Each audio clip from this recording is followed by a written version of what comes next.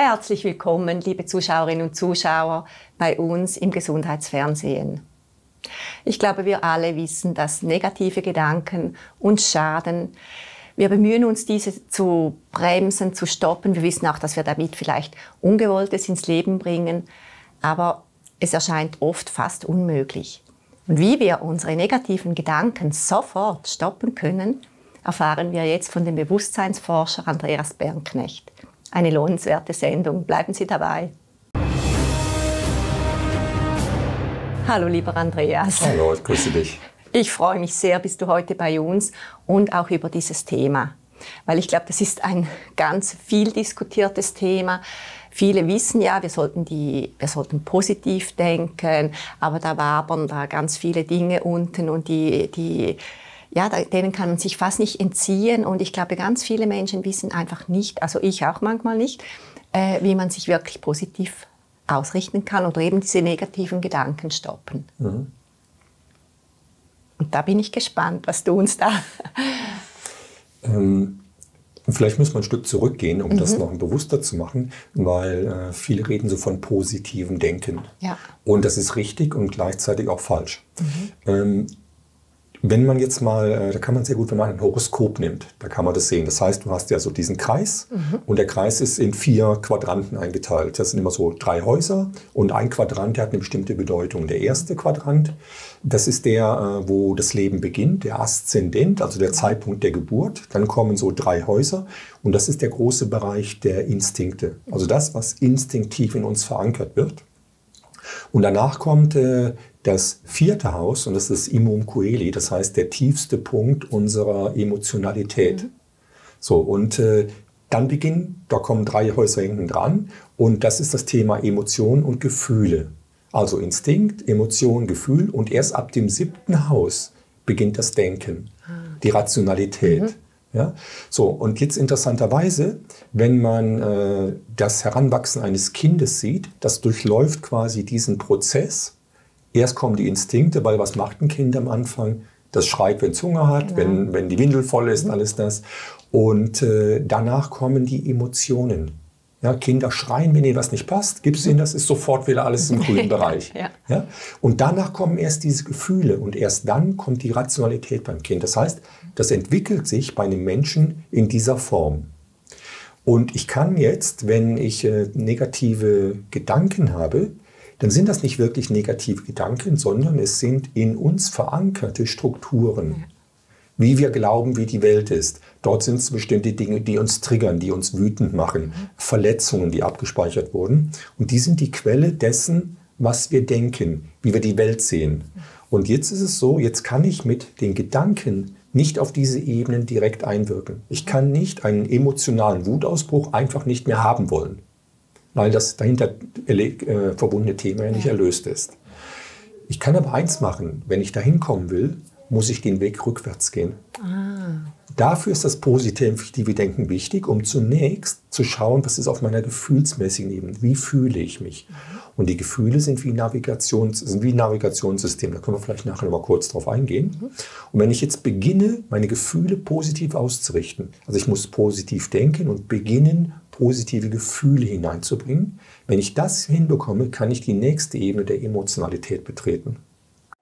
Entschuldigen Sie die ganz kurze Unterbrechung, liebe Zuschauerinnen und Zuschauer, aber wir möchten Sie gleich teilhaben lassen an einem kleinen Ausschnitt von einer besonderen Sendung, die wir kurz zusammengefasst haben. Und wenn Sie die ganze Sendung dann auch schauen möchten, dann finden Sie in der Beschreibung unten jeweils den entsprechenden Link. Viel Spaß!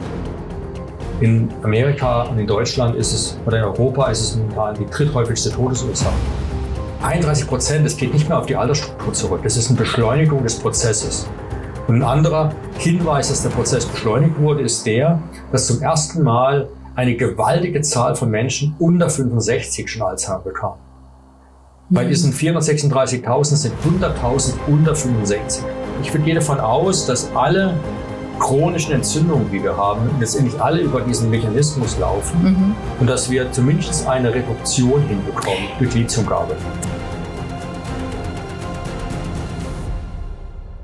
Das heißt, ich kann bewusst durch meine Entscheidung mhm. über das Gefühl hingehen, Emotionalität über, ähm, korrigieren. äh, indem ich tiefer äh, liegende Themen auflöse. Und dann kann ich sogar auf das instinktive Verhalten hingehen, was in der Regel aber Lebensthemen sind. Mhm. Die sind bewusst verankert, damit wir ein Leben lang daran arbeiten können. Nur möglich ist es in der richtigen Reihenfolge. Total spannend, was du jetzt sagst. Jetzt werden natürlich viele Menschen auch fragen, ja, wie komme ich denn dazu, wenn ich einen negativen Gedanken gekoppelt mit einem negativen Gefühl habe, dann vielleicht noch etwas positiv zu denken, rein kognitiv geht ja, aber wie komme ich dann ins Gefühl, ins positive Gefühl? Es gibt zum Beispiel ähm, etwas, das kann man tatsächlich begleitend machen durch mhm. bewusstes Denken, durch Achtsamkeit. Mhm. Es gibt in Ein Kurs in Wundern einen mhm. wunderschönen Satz, der heißt, du kannst Recht haben oder glücklich sein. Ja, so schön, ja. Und jetzt ist es so, jetzt kann man äh, in dem Moment, wo man in eine Diskussion verfällt, wo man wütend wird, wenn man sich diesen Satz einprägt. Und das kann man zum Beispiel machen, ich bin ja jemand, der so Praktiker ist, mhm. zum Beispiel, dass man sagt, das gefällt mir jetzt. Sagen ich verstehe das, ich, also ganz kurz, ich muss vielleicht noch ein bisschen eingehen. Mhm. Dieser Satz heißt ja, du kannst Recht haben, das ist das Ego-Prinzip, oder glücklich sein. Also kein und, kein eventuell, sondern das oder, entweder ja, oder. Ja. Und aus dem heraus ist es verständlich, dass es sinnvoller ist, glücklich zu sein. Ja. Ja? So, und dann ist man für das Ego im Unrecht, aber glücklich. Und das ist allemal mehr wert, als Recht zu haben oder Unrecht zu haben. Und je mehr man das in Situationen von Situationen bewusst tut, sagen können, hey, der kann jetzt, der kann jetzt sagen können, ich, der kann von mir denken, ich bin ein Blödmann. Das ist ja oft so, da ist man so angeknackst. Ja, ja. Aber wenn man irgendwann drüber steht, merkt man, es spielt keine Rolle, weil man ja glücklich ist. Und das sind diese Dinge, die kann man tatsächlich bewusst begleitend mhm. machen. Und äh, dann kann man das ändern. Und genau das ist der Weg, um dahin zu kommen. Jetzt kann man Folgendes machen. Ähm, da denkt man ja oft nicht dran. Also man ist ja schon in der Wut drin. Mhm, mhm, äh, dann passiert das schon. Das war ja auch deine Frage. Man kann aber jetzt sich neu konditionieren. Zum Beispiel, man nimmt so kleine Aufkleber, so kleine rote Aufkleber. Mhm. Die macht man sich zum Beispiel am Auto, ans Armaturenbrett, an den Spiegel, an den Kühlschrank. Und immer, wenn man diesen Punkt sieht, sagt man, ähm, du kannst Recht haben oder glücklich sein. Ich entscheide mich fürs Glücklichsein. Das heißt, man trainiert sich das quasi bewusst an. Und wenn man das eine Zeit lang macht, ist das so wie ein Mechanismus, der immer schneller greift. Ja. Und irgendwann, bevor man beginnt, sich aufzuregen, denkt man, hey, ich will doch glücklich sein. Und jetzt merkt man plötzlich, wie das, diese aufbauende Energie zurückfährt. Mhm. Also man kann über diesen Weg auch tiefere innere äh, Blockierungen tatsächlich ändern was du da sagst, das finde ich so wertvoll, weil das ist auch meine Erfahrung, weil oft möchte man ja auch eine Instant Verbesserung oder Veränderung und dass es eben ein, wirklich ein täglicher Prozess ist, immer wieder da sich diese Arbeit zu leisten und sich bewusst zu machen, wie möchte ich mich, mich ausrichten. Und ich sage dann immer, wenn die Menschen vielleicht sagen, ja, das ist so anstrengend, ich sage, man braucht ja so viel Energie, all diese negativen Gefühle, sage ich mal, zu verwalten oder damit umzugehen, dann lieber die Energie da reinzustecken. Ja, der Punkt ist, es spielt ja überhaupt keine Rolle, ob das anstrengend ist oder nicht. Die Frage ist, bin ich glücklich oder nicht? Ja, ja. Ähm, das ist ja die entscheidende Frage. Das ist ja oft, ja. was ich in Gesprächen, wenn Menschen was erzählen, dann sagen können, bist du glücklich? Und ich will ja, die, die Antwort ist gar nicht wichtig, sondern ich, mir ist die Reaktion wichtig. Ja, ja. Und dann sehe ich dieses Grübeln, dann weiß ich schon, dass, wenn jemand glücklich ist, sagt er, ja, bin ich. Ja. Und diese Reaktion zeigt das schon. Und der Preis, den man letztendlich dafür zahlt, für Recht haben, für in den Emotionen ja. sein, die Endabrechnung, mhm. ja, die ist nämlich ein unerfülltes Leben. Ja. Und das kann man im Nachhinein nicht mehr korrigieren. Das ist viel höher, der Preis. Absolut. Und deswegen äh, braucht man diese Zeit, auch wenn Zeit eine Illusion ist. Ähm, und da ist, kommt der Satz hier, wenn du es eilig hast, gehe langsam. Mhm. Ja, du hast mehr davon nachher. Ja, wunderbar tiefe Geschenke, die du da jetzt äh, uns machst mit dem, was du da erwähnst. Und ich kann das nur auch aus der eigenen Erfahrung sagen, eben wenn man versteht, was das bedeutet, wenn man zum Beispiel urteilt oder wütend ist auf jemanden oder so, dass es eben mit uns zu tun hat, das ist schon mal, da kommt schon Widerstand zu wissen, es hat immer nur mit mir zu tun, weil da kommt ja gerade der Kopf und sagt, ja, aber es ist doch offensichtlich, der oder die hat das gemacht. Und man geht dann so in das äh, Argumentieren oder erzählt dann oft noch jemandem, äh, um sich wie in dieser äh, Sichtweise zu unterstützen. Und das hat schon auch einen gewissen Sog, dieses Ego, weil, weil es hat einen kleinen Moment von Genugtuung, wenn man Recht hat, oder? Ähm, da vielleicht Folgendes. Äh, dieser Punkt, dass viele Menschen sagen können, ja, aber der andere macht das doch. Ja, ja? ja. Also dieser Satz, äh, liebe deinen Nächsten wie dich selbst, ähm, wenn dir jemand die rechte Wange äh, auf die linke Wange schlägt, halt ihm auch die rechte hin. Mhm. Äh, das ergibt für viele keinen Sinn. Ja. Es hat aber damit zu tun, dass äh, uns das nicht beigebracht wird, weil das ist im Prinzip Schöpferwissen. Ja. Und genau das ist ein Tabuthema auf aktuell in dieser Welt, Absolut. weil man da, wenn man das schulen würde, wie das wirklich funktioniert, dann würde man die Kontrolle über diese Menschheit verlieren. Ja. Also es gibt dort Entitäten, die das über lange Zeiten aufgebaut haben, ein Schulsystem, ist ja kein Bildungssystem, es ist ja ein Schulsystem, ja. über das Berufsleben, über Konditionierung, über Geld, über die Medien, die sich so nennen. Das heißt, dort ist ein aufgebautes System, das sie nicht mehr kennen können. Und aufgrund dessen ist dieses Wissen, was dazu führt, glücklich zu sein, bewusst, bewusst kommt, fällt es vom Tisch. Ja. Denn wer sich mit alten Schriften und Themen beschäftigt, der findet immer eins. Wie innen so außen, wie oben so unten. Das heißt, mhm. das Spiegelgesetz, was viele schon kennen, aber nicht leben können. Ja. Und äh, der Punkt ist nun mal, dass diese Themen, die bei mir dazu führen, dass ich wütend bin, ja, Themen sind, die in meiner Psyche, in der Seele irgendwo nicht in der Ordnung sind ähm, Verletzungen, emotionale äh, Verletzungen, Traumata. Ja. Ähm, Vergewaltigung, solche Themen, die dann nicht verarbeitet werden, die jetzt auf eine unbewusste Ebene verdrängt werden in die Psyche und quasi wie abgekapselt sind. Das ist wie abgekapselt und ich kann auch da nichts mehr fühlen. Also viele Menschen fühlen das nicht ja. mehr, ist ja logisch, ja. weil das ja quasi geschlossen ist, weil ich diesen emotionalen Schmerz nicht mehr haben will. Jetzt ist es aber so, es ist unmöglich, dass etwas dort weiter existieren kann. Mhm. Also, ähm, wenn ich das nicht mehr wahrnehme, brauche ich jetzt ein Werkzeug, das mir das widerspiegelt. Mhm. Im wahrsten Sinne des Wortes. Mhm. Das heißt, ich bilde jetzt eine Resonanz zu Menschen, Situationen, zu Umständen, die meinem unerlösten Thema eins zu eins entsprechen. Das ist das Gesetz der Anziehung. Und jetzt ist es so, im Prinzip macht der andere genau das, was ich ganz tief in mir will, nämlich mit meinem unerlösten Schmerz mhm. konfrontiert zu werden, mhm. Damit ich den heilen kann, damit der verschwindet. Und jetzt ist aber so, dieser Teil in uns, der das schützen will, dieser Ego-Teil, der sagt, wenn du das jetzt machst, dann wirst du all deinen Schmerz wieder leben. Das willst du ja nicht mehr. Mhm. Also entwickle ich jetzt Strategien, um Recht zu haben, um Distanz zu schaffen, Ablehnung, alles das, damit ich dem nicht begegnen muss. Ja. Und äh, dadurch bleibe ich auf Dauer in einem Zustand des Unglücklichseins. Also ich kann nur mich wiederholen, das ist unglaublich kraftvoll, alles, was du uns da jetzt schenkst, da eben mal zu verstehen auf der tiefsten Ebene, wer wir überhaupt sind. Das hat so gar nichts mit dem zu tun, was wir denken, was wir sind, also wie wir funktionieren, wie die Welt funktioniert. Aber das Schöne ist, wir können ja uns selbst entscheiden, ja. wieder mit da, da Verbindung zu bekommen. Und wenn ich sehe auch all das, Leid, das auch mit Menschen, mit denen ich arbeite, mit dieser wiederkehrenden Not, da kommen immer wieder die gleichen Situationen man, man denkt, ja, jetzt, jetzt äh, mache ich etwas ganz anderes, ich gehe in ein ganz anderes äh, Arbeitsumfeld und es kommen immer die gleichen Themen wieder oder eben das Wiederholende, immer wieder einen Partner, der einem vielleicht misshandelt, aber dass wir da ja ähm, die Ursache sind. Das ist einerseits ein bisschen, ja, wir müssen die Verantwortung übernehmen, aber andererseits ist es auch sehr verheißungsvoll, weil wir können etwas machen, oder? Es gibt ja den Satz, egal wo du hingehst, mhm. du nimmst dich selbst immer ja. mit. Ja.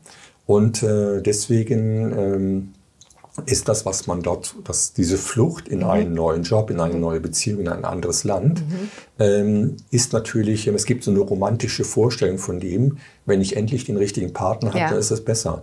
Der Punkt ist nur, ich kann den ja gar nicht anziehen, weil in mir ja ein Muster ist, das nach anderen Themen mhm. verlangt. Genau. Und jetzt passiert eins, es ist ja eine unbewusste Resonanz. Ich habe unbewusst wie eine Frequenz, die zusammenpasst zu den Menschen, die zu mir passen. Mhm. Und äh, deswegen sagt man ja, Schmerz ist immer nur alter Schmerz. Ja. Also es gibt keinen neuen Schmerz, sondern wenn du Schmerz hast, ist es immer nur ein Erleben eines vorherigen Schmerzes, mhm. der noch nicht gelöst wurde, den man in, in, der Regel immer in der Kindheit findet. Und das sind die Themen, die du erwähnt hast, warum passiert mir immer dasselbe? Ja, ja absolut. Nicht, weil das Universum gemein ist, weil ich ein, ein, ein ein Loser bin. Ja? Das hat alles nichts damit zu tun. Mhm. Oder weil ich unfähig bin oder dumm. Das hat alles nichts damit zu tun, sondern nur unbewusst. Ich verstehe die Mechanismen nicht. Mhm. Das ist der einzige Grund. Wenn ich die be beginne zu verstehen, mhm. und das ist der Punkt, Wissen ist Macht. Absolut. Ja? Dann wie, kann ich das ändern. Wie siehst du das denn? Weil viele Menschen sagen, ja, weißt du, in diesem Leben habe ich diese Themen gelöst, aber es ist noch ein altes Karma. Was sagst du dazu? Das mag wahrscheinlich so sein, mhm. spielt aber überhaupt keine Rolle, Egal. weil du bist ja hier. Das gibt es einfach zu lösen, du bist egal. Hier, du bist hier in diesem Moment und ja. ob das aus 10.000 Inkarnationen ist mhm. oder was immer ist oder aus einer zukünftigen Inkarnation, weil Zeit ist nie nicht existent. Das spielt keine Rolle, mhm. weil du hast das jetzt. Wenn du es jetzt nicht löst, dann verlagerst du es auf einen irgendwelchen Punkt. Ja. ja?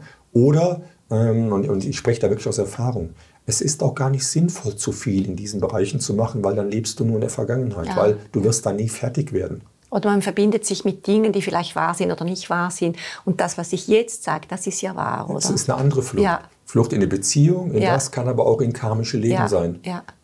Und dann war ich da irgendwo ein Pharao oder ein König oder sowas. Das ist super toll, wie toll ich war. Nur jetzt kriege ich es nicht hin, deswegen muss ich das da alles auflösen. Das, das, hört sich ein bisschen krass an, aber es ist wirklich so. Immer dann, wenn ich nicht im, also das Wort ist ein bisschen schwierig, weil viele verstehen das nicht. Wenn ich nicht im Jetzt bin, mhm. dann bin ich nirgendwo. Und immer dann, wenn ich davon abweiche, kann ich im Jetzt nichts ändern. Und das ist ähm, nicht, weil es jetzt eine Zukunft eine Vergangenheit gibt, sondern es ist ein Bewusstseinskonstrukt mhm. ähm, einer Erwartung der Zukunft oder eine Erinnerung an etwas Vergangenem, was ja. vergangen ist. Ja. Und das ist das ganze Thema Zeit, das ist ein Riesenbereich nochmal. Mhm. Und wer aber das versteht, der weiß, je mehr ich in diesem jetzigen Zustand bin, ja. ich bin, äh, in diesem Moment der Bereitschaft, mich den Themen zu widmen, mhm. dann löst sich das und dann kommt das Glücklichsein. Weil alle die wesentlichen Zustände sind Seinszustände, mhm. keine Ich werde Zustände oder Ich war Zustände. Also was du da sagst, eben, wenn ich nicht hier bin, bin ich nirgendwo. Also wenn ich nicht jetzt da bin. Das, das ist ja so unglaublich, wenn man das weiter äh, spinnt, wenn man denkt, was jetzt auch geschieht mit vielen jungen Menschen, die, also ich habe schon viele Kinder, ich arbeite ja schon über 30 Jahre mit, auch mit Kindern und früher war dieses Thema gar nicht so da, aber heute sind die Kinder fast nicht mehr, oft nicht mehr draußen, je nachdem, wo sie aufwachsen und sind so verbunden, die erzählen mir die ganze Zeit, von Videospielen und schon kleine Kinder und die sind so in dieser Welt und es ist für sie so real und die sind eigentlich fast nie im Jetzt, auch wenn ich mit ihnen eigentlich in einem Ort arbeite, mit den Pferden auf dem Hof, wo man eigentlich schon so eine Verankerung hat. Aber ich merke, das hat sich so verändert und wir können den Eltern, auch ihren Kindern da schon helfen. Also weil mit Beschränkungen, da gibt es dann auch von den Kindern viel Widerstand. Es ist, alle funktionieren so, man ist nicht dabei, wenn man da jetzt nicht äh, alle diese Dinge weiß aus diesen sozialen Medien. Das finde ich unglaublich, dieser Sog und diese Entwicklung. Im Prinzip äh, geht es über einen Weg. Äh, das, Im Englischen gibt es ein Wort, ich mag eigentlich die Anglizismen nicht so, aber das mhm. Wort Standing. Ja. Also ich bin. Ja. Und ähm, es ist natürlich so, ähm, Kinder, die geboren werden, sind natürlich erstmal geistige Wesen. Ja. Das sind Schöpferwesen. Ja. Und nur weil die jetzt einen kleinen Körper haben und weil die vielleicht nicht diese Denkstrukturen haben, die ich als Erwachsener im Moment mhm. habe, die vielleicht nicht unbedingt besser sind. Ja? Ja. Das heißt, äh, vielleicht ist diese Seele viel, viel älter. Vielleicht muss die durch diesen Prozess mhm. gehen, sowas zu machen, um sich dann an einem späteren Zeitpunkt zu erinnern, was es wirklich ist. Mit dem Verständnis dessen, wie das ist. Das ist immer schwer zu beurteilen. Mhm.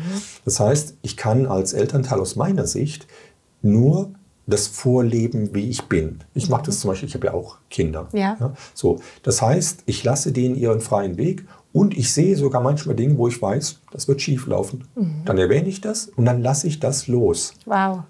Das ist, das ist der, der Punkt, was man im Prinzip Liebe ist, weil dann ist jemand in der Erfahrung. Ja.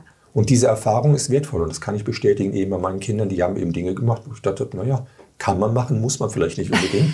Aber ja. ich kann es nicht beurteilen, ob das ja. für diese Seele wichtig ja. ist. Also viele Dinge sind so, damit meine ich nicht jetzt verantwortungslos zu ja, sein, sondern das Gespräch suchen, das hineingeben und dann aber sagen können, okay, geh deinen Weg. wenn es dann eben schief läuft, sagen können, schau mal, der so und das, was hat dazu geführt? Also dann helfen die Erkenntnisprozesse zu gewinnen. Wow, wunderbar, was du da jetzt auch wieder sagst, weil eben ich glaube, als ich weiß das auch selbst als Mutter, wenn die Kinder irgendwie etwas machen, dann denkt man sofort, auch ich habe etwas falsch gemacht. Und dann kommt noch mein Schuldgefühl vielleicht den Kindern gegenüber. Und dann gibt es ja auch schon wieder irgendwie so eine Struktur, die sich dann vielleicht auch beim Kind negativ festsetzt. Und das, was du sagst, das braucht natürlich selbst ganz viel äh, Sein und ja, einfach diese mhm. Gelassenheit auch, oder? Genau, und, und deswegen, ähm, deswegen ist zum Beispiel auch im Prinzip eine, eine strenge Erziehung mhm. positiv. Nicht in Form von Einschränkung, sondern in Form von Strukturen verankern, die mit dem Leben zu tun haben. Zum Beispiel immer die Wahrheit zu sagen. Ja. Ja, nicht zu lügen, das beizubringen, da super konsequent zu sein. Ja. Das sind Grundstrukturen, die sind wesentlich für ein erfolgreiches Leben. Mhm. Und äh, das ist etwas, was ich zum Beispiel bei meinen Kindern sehe. Das ist unglaublich, diese Ehrlichkeit, die dahinter ist. Ja. Und dadurch haben natürlich passieren viele Dinge schon gar nicht, weil du diese Resonanz nicht bildest zur Unwahrhaftigkeit. Ja. Ja, und weil eben Ehrlichkeit auch sein darf. Weil oft lernen sie, dass man gewisse Dinge gar nicht sagen soll oder weil dann so eine, ja, das ist gar nicht der Raum für die Wahrheit, oder? Ja, und das ist etwas, äh, was ich zum Beispiel bei mir immer großen Widerstand ausgelöst hat. Das ist für mich unerträglich, Dinge zu machen, die meinem inneren Wesen widersprechen. Ja. Und da habe ich mir ein Leben lang immer Probleme gehabt. Mhm. Ich war früher mal Polizeibeamter. Ah, okay. und ich habe da ganz viele Probleme gehabt, weil ich Dinge ja. nicht so gemacht habe, nicht gesehen habe, weil ich weitergedacht habe. Ja. Bis ich verstanden habe, dass das System das so will. Das mhm. will nicht, dass du denkst. Das will nicht, dass du eigenständig bist, dass du ähm, etwas nach außen bringst, was förderlich ist. Das mhm. ist ein großer Apparat, der zur Kontrolle der Menschen dient. Also wenn man es da mal alles versteht, dann äh, ist das schon anders. Deswegen musste ich da auch gehen. Ja, wow. Und was sagst du denn? Weißt du, ich habe auch ganz viele Menschen, die wirklich schlimme Dinge erlebt haben äh, und die sich dann ganz fest verbinden, weißt du, mit dieser Opfermentalität und einfach sagen, das geht nicht, weil ich hatte so eine schlimme Kindheit oder ich hatte so einen Übergriff und die dann gar nicht offen sind. Würdest du sagen, dass sie einfach auch diese Erfahrung dann also machen? Ich, sowieso, wenn jemand nichts möchte, äh, weißt du, nicht äh, irgendwie eine Antwort möchte, muss man ja auch nichts aufdrängen. Aber wenn Sie mich fragen, dann ist manchmal auch die Verankerung mit dieser Opferidentität so groß, dass da manchmal ganz schwierig ist, irgendwie einen Zugang zu finden. Das, das ist definitiv so. Also man kann auch niemandem helfen, der sich nicht helfen lassen ja. will. Und das sage ich jetzt nicht so kaltherzig, ja, ja. sondern es ist natürlich auch eine gewisse Art und sei sagen können, wenn jemand noch nicht bereit ist, bringt das nichts. Ja. Man kann dann nur, steht der Tropfen, hüllt den Stein, wenn man mhm. das möchte. Und die Gefahr ist sehr groß, dass, äh, wenn man mit Menschen arbeitet, die an dem Punkt sind, dass äh, die einem die Energie entziehen. Ja, absolut. Und äh, das ist eine Art Selbstschutz, den man nicht äh, zulassen darf. Erstens mal, ähm, tut einem das selbst nicht gut mhm. und man kann über diesen Weg überhaupt nicht helfen. Absolut. Man bestätigt sogar den anderen in seiner Situation mhm. und auf einer gewissen Ebene ermuntert ihn, bleib so wie du bist. Mhm. Weil du bist so arm dran, das ist so schlimm. Und äh, ich mache das, wenn ich jemanden habe, ziemlich radikal. Ja. Also ich setze dann sehr hohe Möglichkeiten, bevor ich sage, bevor ich mit jemandem arbeite, ja. mache ich das so hoch, diese Messlatte. Und wenn jemand da nicht drüber springt, weiß ich, dann ist nicht der letzte Wille da, das zu tun. Ich habe gerade aktuell so einen Fall. Ja. Da habe ich die Messlatte so hoch gesetzt. Mhm. Und dann merkte ich, dann kam die Antwort, ich habe heute, heute Morgen bekommen. Ja. ja. tatsächlich, wo sagen können, ich muss da nicht überlegen, ich mache das, ich mache da alles, was du sagst. Wow, ja? schön. So. Ja. Und das ist natürlich am Anfang schon so, das löst viel Widerstand aus, viel mhm. Diskussion. Ja, aber in meiner Situation und das ist so kaltherzig von dir. Also da kommen ja all diese Dinge. Ja, ja, ja genau. Aber jetzt merke ich, so ist die Bereitschaft da und ansonsten hätte ich das wirklich gelassen. Ja. Weil ansonsten ist das so, das kostet dann meine Lebensenergie, meine Freude und äh, die brauche ich aber für andere Dinge. Ja. Und ich, ich gebe das nicht auf. Und ich weiß, ich kann kein Beitragender sein. Da können wir vielleicht mal ein andermal drüber reden, ja, ja. was ein Beitragender ist. Äh, sonst bin ich nur ein Überlebender. Das sind zwei riesen verschiedene Dinge. Absolut. Ganz toll, was du jetzt sagst, weil das ist mir wirklich selbst auch im letzten Jahr so bewusst geworden, ähm, dass ich wirklich es war mir schon immer so, aber ich bin dann manchmal doch in Situationen gekommen, wo ich merke, nein, das, da musste ich wieder ein bisschen zurück und sagen, so, das, das geht nicht, das kann ich nicht übernehmen. Und jetzt mache ich mittlerweile auch so, wenn ich mit jemandem arbeite, dass ich wirklich einfach klar auch wissen möchte, ist da die Eigenverantwortung und das Wissen um die eigene äh, das eigene Zutun da und sonst sage ich auch, ich mache es nicht. Und ich habe gemerkt, das ist für mich so befreiend, was du auch sagst, weil es war ja auch noch eine Struktur in mir, dass ich eine Resonanz hatte, da noch, doch noch dran zu bleiben.